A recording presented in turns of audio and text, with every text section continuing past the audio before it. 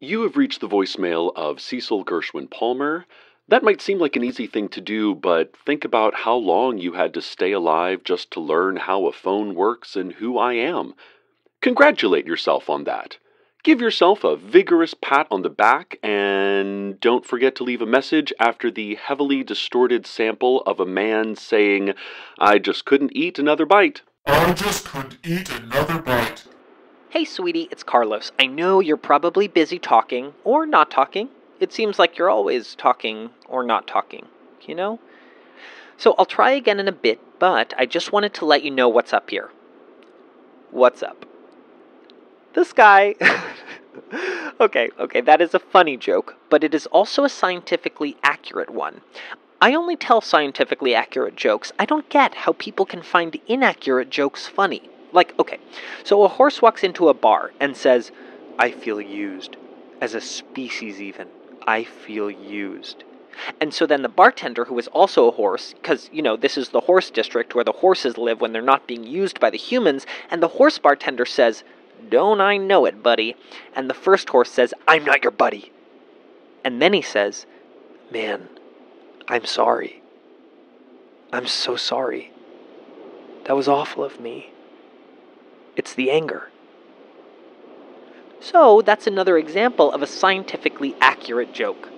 Things are going really well here. With the help of Doug and Alicia and the other members of the masked army that live in this strange desert otherworld, we've been starting to build out an infrastructure. Of course, I had already set up a temporary lab, but now we've dug up the stones that were used in the old settlements up on the mountain and have been building important basics of life, like shelter and roads and bloodstone circles.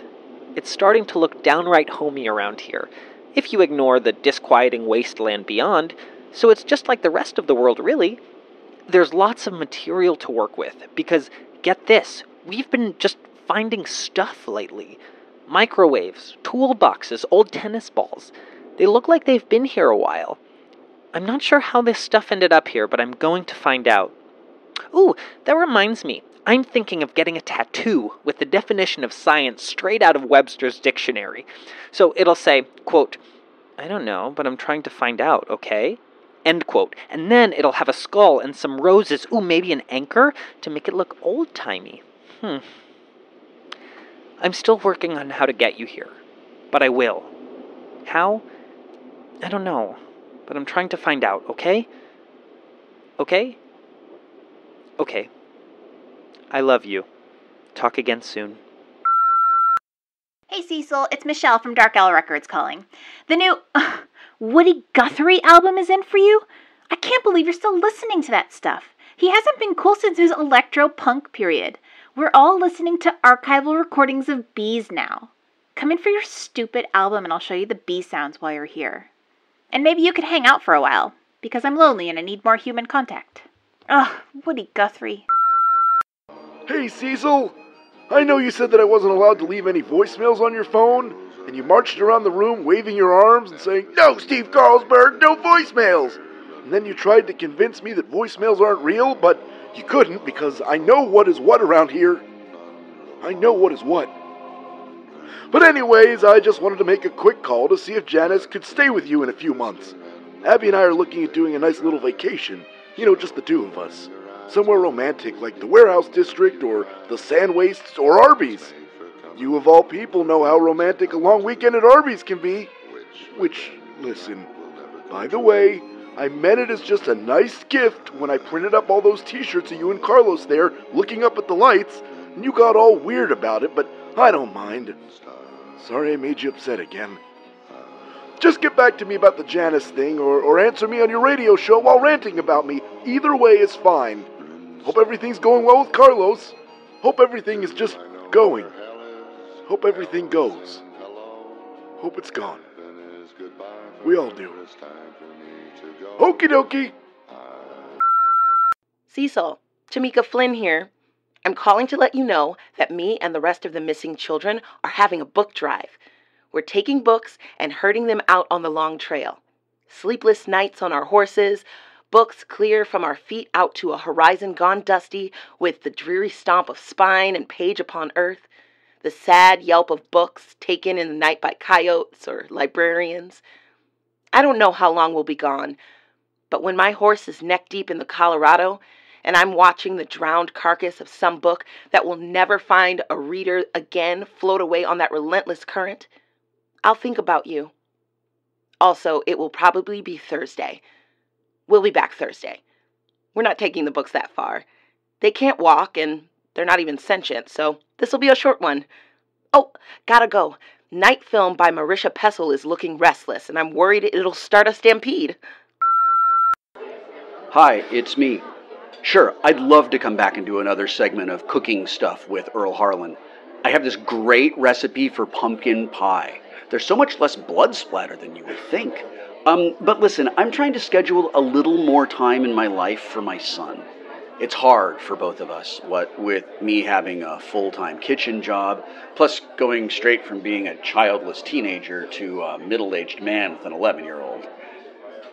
I, I mean, like, they have Sesame Street episodes about it that you can show your kid, but even with PBS's help, trying to explain how weird time is, it's really hard. Time is unimaginably weird. Uh, my son's name is Roger. I finally asked him, and he told me. It was that easy, and it wasn't easy at all.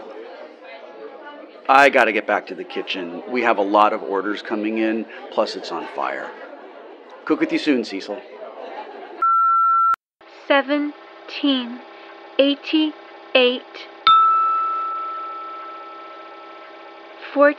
1788 49 86 81 68 Cause I am a champion and you're gonna hear me. eighty one, eighty three. 4 Hey, sorry to call again so soon. I know we talked about space and boundaries and all of that, especially with this whole Lot 37 thing you're going through. Gotta have time to think. And cease, I understand time to think, but I have made an important scientific discovery, and you know the rules are different when an important scientific discovery is made. An important scientific discovery is grounds to interrupt anything.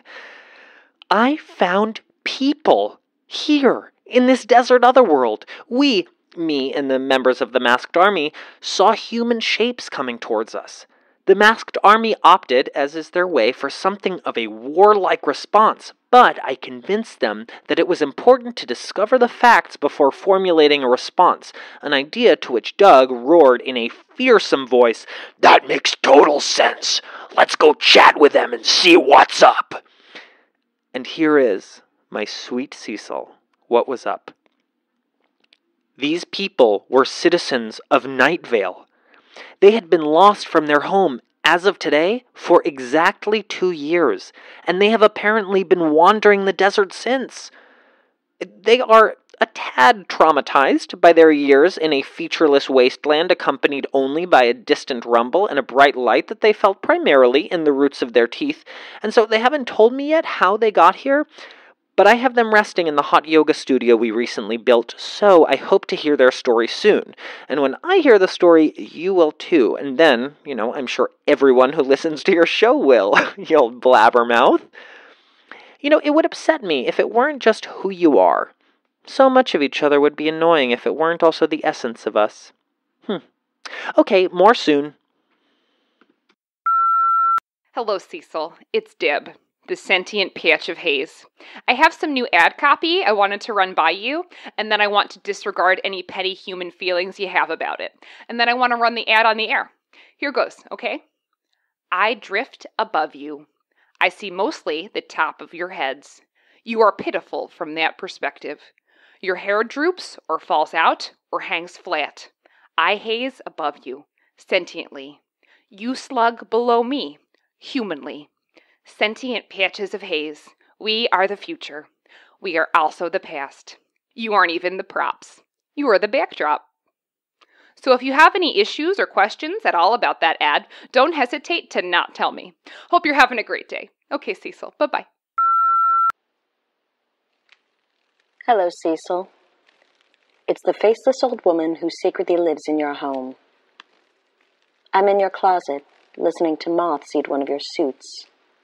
They make such a lovely crunch and tear. I just wanted to reach out in regards to you protecting your former intern Dana against Hiram and I's good work toward destroying her.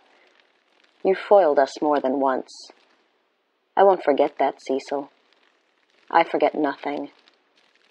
Unlike you, your brain a dusty surface so easily blown clean. My memory cakes on. It stains. It warps. My memory is erosion. It is on the very surface of the earth. Do you feel my fingernails on your back? No, you don't. I could do so many things to you without you feeling it. Remember that if you remember nothing else, which seems likely these days. Tell Carlos I said hi. I always liked him. And stay out of my way, or I will destroy you, just as these moths I caught outside and carried into your closet are destroying all of your clothing.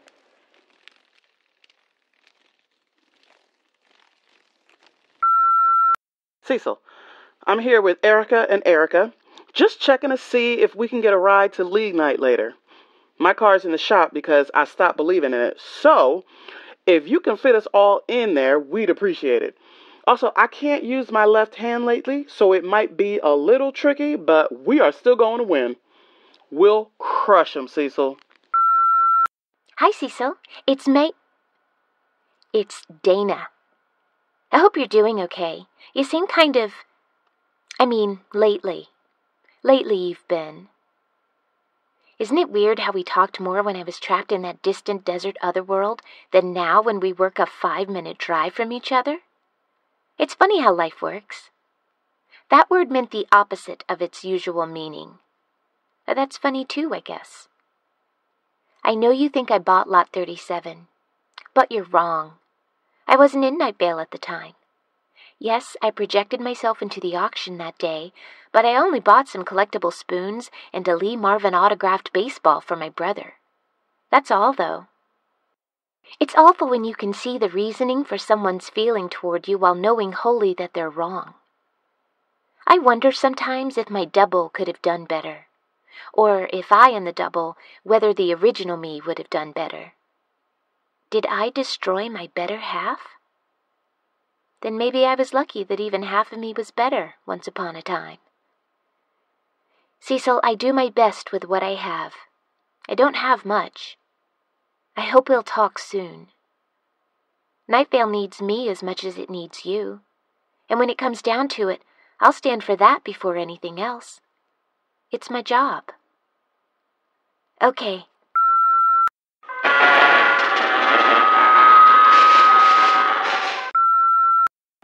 Hey, okay, quick update and then poof, I'm gone again from your voicemail.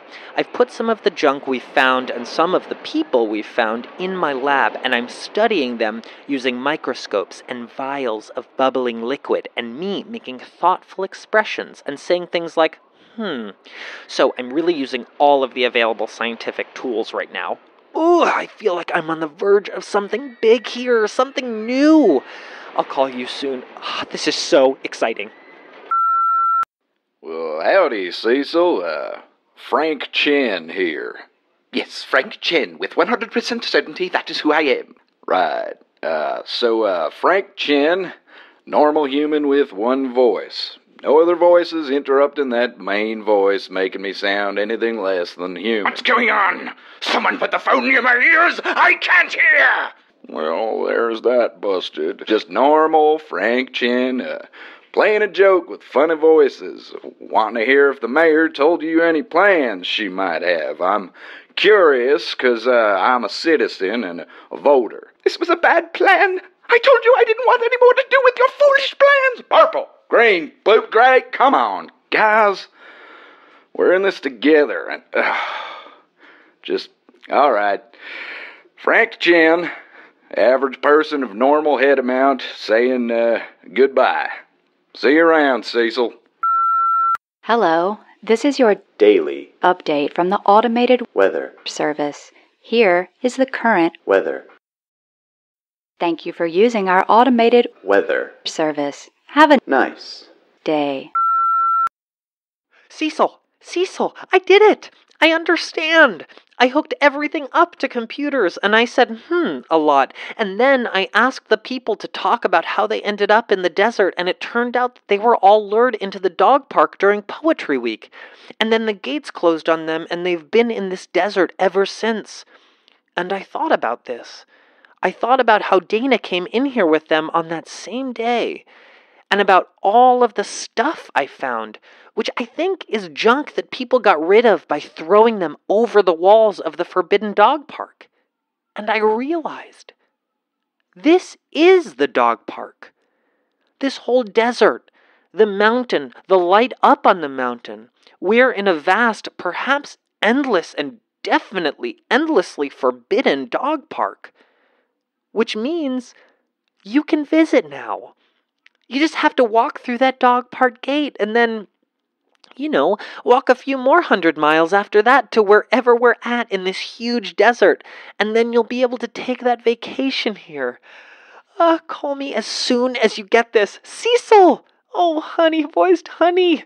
You'll be able to visit. Talk soon. I love you. Hey, friend. We haven't spoken in a while. Not since all that unpleasantness happened. I hope everything has been super pleasant since then. Oh, but hey, I've been working on something I'd like to show you. I think you'll be just jazzed about it. Get back to me ASAP, okay? Until next time, Cecil. Until next time. Welcome to Night Vale is a production of Commonplace Books. It is written by Joseph Fink and Jeffrey Cranor, and produced by Joseph Fink. The voice of Night Vale is Cecil Baldwin. The voice of Carlos was Dylan Marron. The voice of Michelle Nguyen was Kate Jones. The voice of Steve Carlsberg was Hal Lublin. The voice of Tamika Flynn was Symphony Sanders. The voice of Earl Harlan was Wil Wheaton. The voice of Faye was Molly Quinn. The voice of Deb was Meg Bashwiner. The voice of the faceless old woman was Mara Wilson. The voice of old woman Josie was Retta. The voice of Mayor Cardinal was Jessica Nicole. The voice of Hiram McDaniels was Jackson Publick. The voices of the automatic phone service were Erica Livingston and Christopher Lohr. The voice of Kevin was Kevin R. Free. Original music by Disparition. All of it can be found at disparition.info or at disparition.bandcamp.com. This episode's weather was Tag by Scarves. Find out more at scarvesmusic.bandcamp.com. Comments, questions, email us at info at welcometonightVale.com or follow us on Twitter at Nightvale Radio. Check out welcometonightVale.com for more information on this show, as well as all sorts of cool Night Vale stuff you can own. And while you're there, consider clicking the donate link. That would be cool of you. Instead of a proverb today, I just have some important news about the stray cats that live outside my apartment. There's the usual one, named Bisquick, who is missing one ear and is terrifying. But today, I saw a second one, who is fatter and less terrifying, and who I've named the Baron. I will keep you updated as events unfold.